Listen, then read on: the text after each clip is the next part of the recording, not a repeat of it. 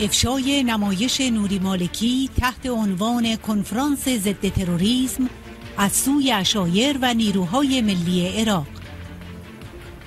شیخ علی حاتم امیر قبایل دولیم درباره کنفرانس مبارزه با تروریسم به تلویزیون الرافدین گفت رژیم ایران به مالکی می‌گوید و آمریکا هم کار را به او می سپارد تا با جمع کردن کشورها در این کنفرانس همه را فریب بدهد. در حالی که این فرد کارش تمام شده است. به خدا قسم اولین نفری که پدرخوانده تروریسم در ارگان هاست خود مالکی است.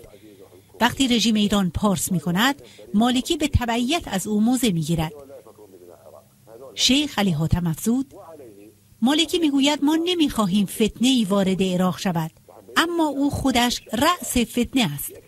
من سوال می کنم این شبه نظامیان و حزب الله و این همه که از عراق عبور می کنند و به سوریه می روند از کجاست؟ مالکی عراق را ویران کرده است. ما نه مالکی و نه این بازی های مسخره هیچ کدام را به رسمیت نمی شناسیم شورای نظامی کل انقلابیون عراق نیز اعلام کرد مالکی کسی است که آتش فرق گرایی نفرت انگیز را شعله بر کرده و فضای مناسبی را برای رشد و نمو تروریسم ایجاد کرده است.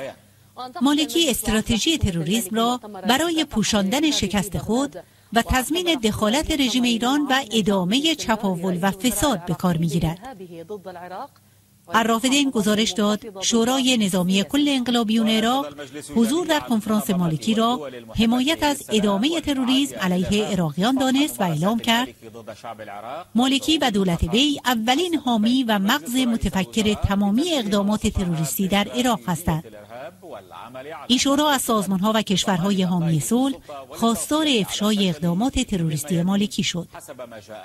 به گزارش تلویزیون تغییر مظهر الجنابی نماینده پارلمان عراق کنفرانس مبارزه با تروریسم در بغداد را یک تبلیغات زودرس انتخاباتی برای یک طرف سیاسی مشخص توصیف کرد و گفت چگونه این کنفرانس در بغداد برگزار می شود در صورتی که همین بغداد از وجود تروریسم رنج می‌برد.